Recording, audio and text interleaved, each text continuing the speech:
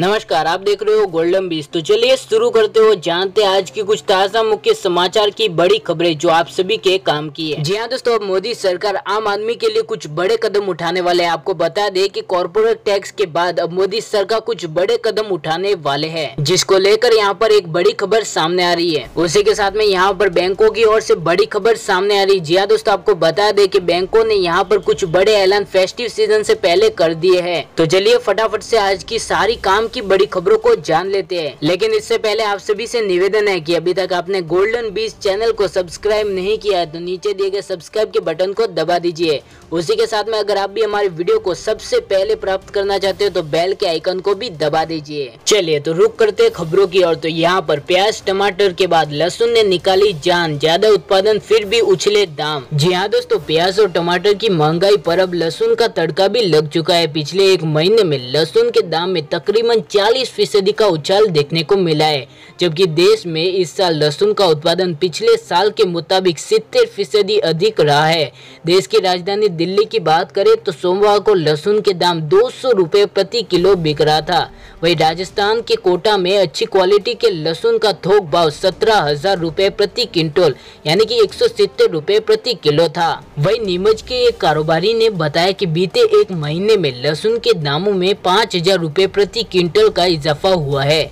गोयल ने बताया कि हाल ही में हुई भारी बारिश से खेतों में पानी भरा हुआ है और इसी के वजह से लहसुन की कीमतों में उछाल देखने को मिल रहा है। चलिए तो बढ़ते हमारी अगली बड़ी खबर की और तो दोस्तों, यहाँ पर मदर डेयरी ने प्लास्टिक से बचने के लिए चार रूपए सस्ता किया टोकन वाला दूध। जी हाँ दोस्तों, दूध क्षेत्र की प्रमुख कंपनी यानी की मदर डेयरी ने कहा है की प्लास्टिक के इस्तेमाल को कम करने के लिए टोकन वाले दूध को पैकेज दूध की तुलना में चार रूपए प्रति लीटर कम लागत पर उपलब्ध करवाया जाएगा। और उसी के साथ में टोकन वाले दूध की बिक्री बढ़ाने के लिए अतिरिक्त कदम भी उठाए जा रहे हैं। वही कंपनी की ओर से जारी बयान में कहा गया कि वर्तमान में 900 बूथ के माध्यम से औसतन 6 लाख लीटर दूध बेचा जा रहा है। ठीक है तो बढ़ते हमारी अगली बड़ी खबर की ओर। तो यहाँ पर डिमांड सुस्ती टीवी कंपनियों ने 30 प्रतिशत तक घटाए दाम। जी हाँ दोस्तों फेस्टिव सीज़न में सुस्ती डिमांड से निपटने के लिए टेलीविज़न कंपनियों ने कीमतों में अब तक की सबसे बड़ी कटौती कर दी है।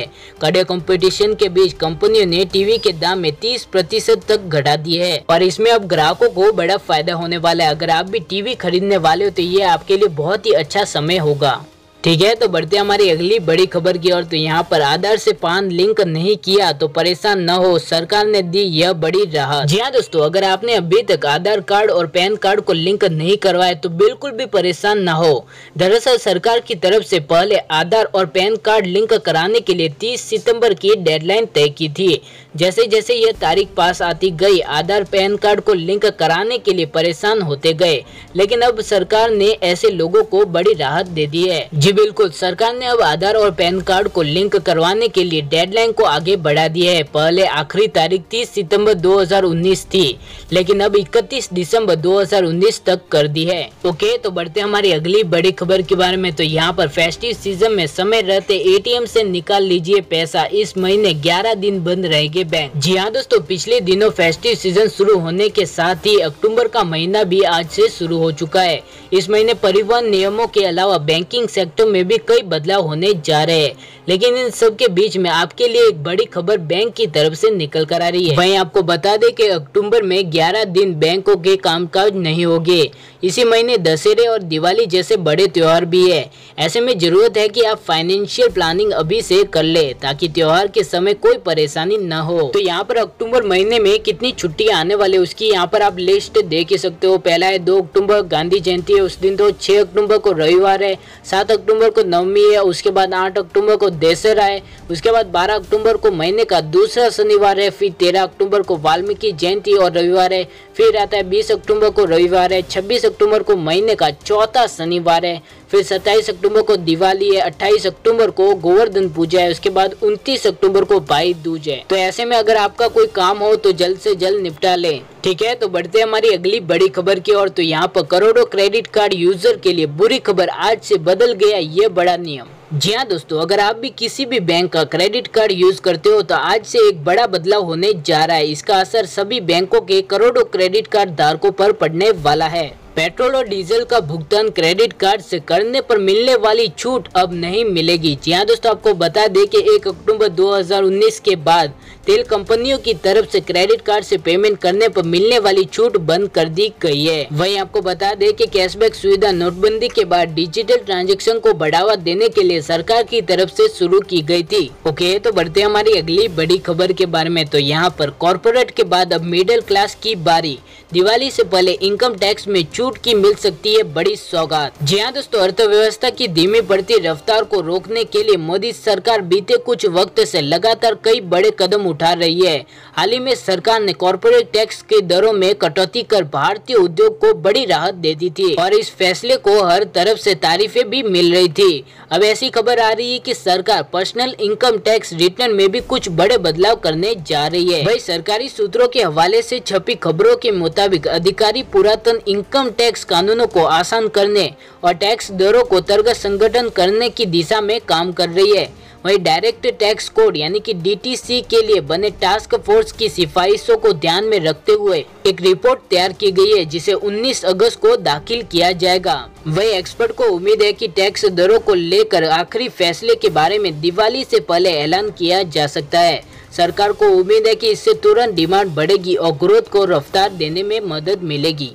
चलिए तो बढ़ते हमारी अगली बड़ी खबर के बारे में। तो यहाँ पर महँगाई के साथ शुरू हुआ अक्टूबर का महीना। इतने रुपए बढ़ गए रसोई गैस सिलेंडर की कीमत। जी हाँ दोस्तों, अक्टूबर का महीना शुरू हो चुका है और ऐसे में पेट्रोल और डीजल के बाद अब सरकारी तेल कंपनियों ने घरेलू गैस सिलेंडर के दामों को भी बढ़ाने का फैसला कर दिया है। अक्टूबर महीने में पहले दिन कंपनी की ओर से जारी किए गए नए रेट में घरेलू रसोई गैस सिलेंडर के दामों में पंद्रह रूपए बढ़ा दिए है। ये लगातार दूसरा महीना है जब एलपीजी के दामों में बढ़ोतरी की है।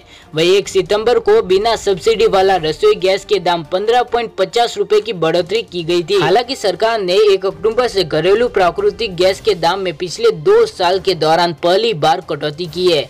वहीं आपको बता दें कि सरकार के इस कदम से ऑटो फ्यूल के रूप में इस्तेमाल होने वाले सीएनजी और घरों में खाना पकाने के लिए इस्तेमाल होने वाले पाइप नेचुरल गैस यानी कि पीएनजी की कीमतें कम हो जाएगी। ओके तो बढ़ते हमारी अगली बड़ी खबर के बारे में। तो दोस्तों, यहाँ पर 500 टन प्लास्टिक कचरे से बनेगा 100 किलोमीटर लंबा हाईवे। जी हाँ दोस्तों, केंद्रीय सड़क परिवहन एवं राजमार्ग मंत्री नितिन गडकरी ने सोमवार को यूपी गेट पर प्लास्टिक वेस्ट से बन रहे सड़क का शिलान्यास किया।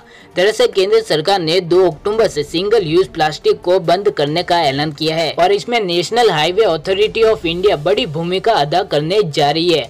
आपको बता दें कि इस साल अक्टूबर के अंत तक 500 टन प्लास्टिक कचरे से 100 किलोमीटर का हाईवे बनाने का लक्ष्य तय किया है। वही एनएचआई ने एक सर्कुलर में कहा है कि प्लास्टिक वेस्ट से बनने वाली सड़क पर देखरेख एनएचआई खुद ही करेगी। इसके साल में दो बार समीक्षा की जाएगी। एक अनुमान के मुताबिक 60 टन प्लास्टिक कचरे से एक किलोमीटर लंबी सड़क बनाई जा सकती है। चलिए तो बढ़ते हमारी अगली बड़ी खबर के बारे में। तो यहाँ पर सोने और चांदी में आई भारी गिरावट, इस भाव पर खरीदी की सलाह। जी हाँ दोस्तों, त्योहारों पर सोना खरीदने वालों के लिए एक बहुत ही अच्छी खबर निकल कर आ रही है। हफ़्ते के पहले दिन इस सोने और चांदी में गिरावट देखी गई है। आपको बता दें कि राष्ट्रीय राजधानी दिल्ली में 10 ग्राम सोने की कीमत में दो सौ की गिरावट आई है। वहीं अगर चांदी की बात करें तो एक किलोग्राम के अनुसार चांदी में सात सौ पिछहत्तर की गिरावट देखी गई है। एक्सपर्ट के मुताबिक अंतर्राष्ट्रीय मार्केट में कमज़ोर कीमतों की वजह से सोने की कीमतों में नरमी आई है। वहीं एक्सपर्ट का कहना है कि सोने में आज की गिरावट को खरीदारी का मौका समझना चाहिए। उनका कहना है कि अमेरिका और चीन के बीच ट्रेड वॉर फिर से बढ़ता दिख रहा है।